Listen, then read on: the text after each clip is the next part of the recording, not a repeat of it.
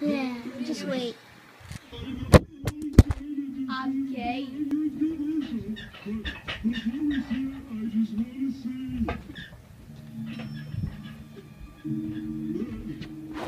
I just wasted like 13 seconds of your life.